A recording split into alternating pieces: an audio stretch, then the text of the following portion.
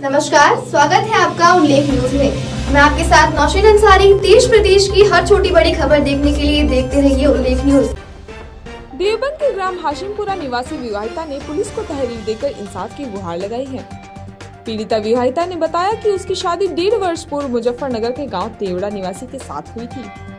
पीड़िता का आरोप है कि शादी के बाद जब उसे पता चला कि उसका पति पहले से ही शादीशुदा है तो उसके पैरों तले से ज़मीन खिसक गई। आरोप है जब उसने इस बात का विरोध किया तो उसके पति ने उसके साथ मारपीट कर डाली। आज पीड़िता परिजनों के साथ पुलिस के पास पहुँची और इंसाफ की गुहार लगाई। पुलिस मामले की जाँच में जुट गई है। जी। ये हमने एप्लीकेशन इस बात को लेकर दी है। मेरी एक डेढ़ साल पहले शादी हुई थी।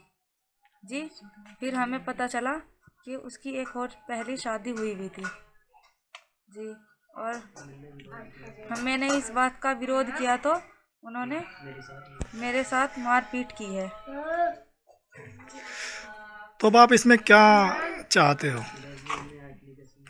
जी मैं इंसाफ चाहती हूँ।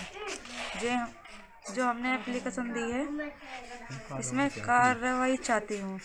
आप देख रहे हैं उल्लेख न्यूज़। हर खबर पर पैनी नज़र।